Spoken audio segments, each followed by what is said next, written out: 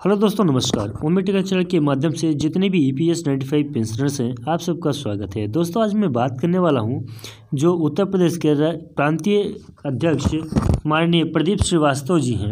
उनके द्वारा एक पत्र माननीय प्रधानमंत्री जी को लिखा गया है। आइए थोड़ा सा पत्र को हम बारीकी से देख लेते हैं, समझ लेते हैं इसमें क्या लिखा है, फिर इसके बाद हम इस पर चर्चा करेंगे।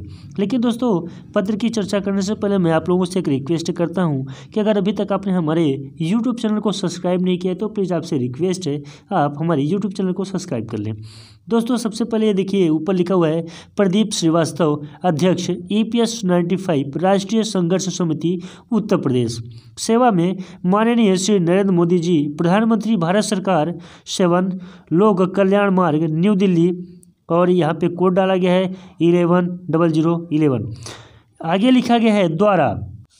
द्वारा है, किसके द्वारा, ये आप थोड़ा सा देख लीजिए। माननीय सांसद महोदय, उत्तर प्रदेश जी के द्वारा।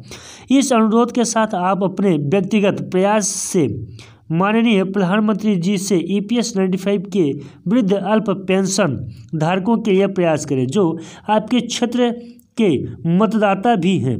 पत्र की एक पत्र राष्ट्रीय संघर्ष समिति को भी उपलब्ध कराने का कष्ट करें। आगे लिखा है, महोदय, ये किसके लिए था?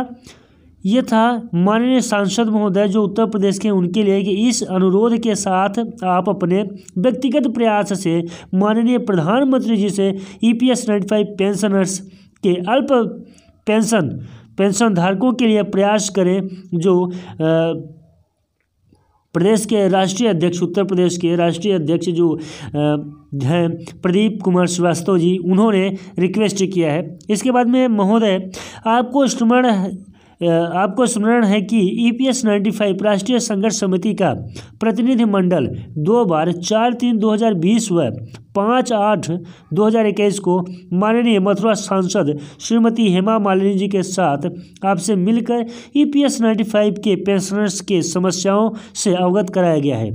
ई पी एफ़ ओ के द्वारा पेंशन वृद्धि में सरकार के द्वारा अतिरिक्त बजट में प्रावधान न बताकर वर्षों से पेंशन वृद्धि का प्रस्ताव नहीं भेजा जाता है।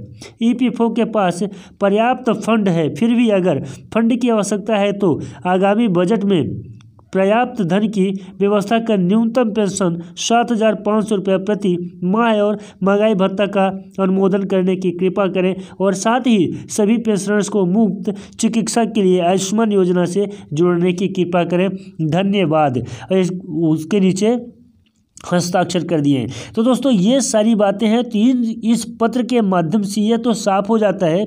इस पत्र में साफ़ लिखा गया है कि ईपीएफओ के द्वारा पेंशन वृद्धि, यहाँ पर देखिएगा, मैं फ़र्स्ट, सेकंड, थर्ड लाइन में देखिएगा, बीच से ही देखिएगा कि ईपीएफओ के द्वारा पेंशन वृद्धि में सरकार के द्वारा अतिरिक्त बजट में प्रावधान न बताकर वर्षों से पेंशन वृद्धि का प्रस्ताव नहीं भेजा जाता है। ईपीएफओ के पास पर्याप्त फंड है, फिर भी फंड की आवश्यकता है तो आगामी बजट में पर्याप्त धन की व्यवस्था कर न्यूनतम पेंशन सात हज़ार पाँच सौ रुपये प्रति माह और महँगाई भत्ता का साथ साथ में यह क्या है? मुफ़्त चिकित्सा के लिए आयुष्मान योजना से जोड़ने की कृपा करें। ये उत्तर प्रदेश के ई के राष्ट्रीय अध्यक्ष जो माननीय श्री श्रीवास्तव जी का, प्रदीप कुमार श्रीवास्तव जी का यह लेटर है जो माननीय प्रधानमंत्री जी को लिखा गया है।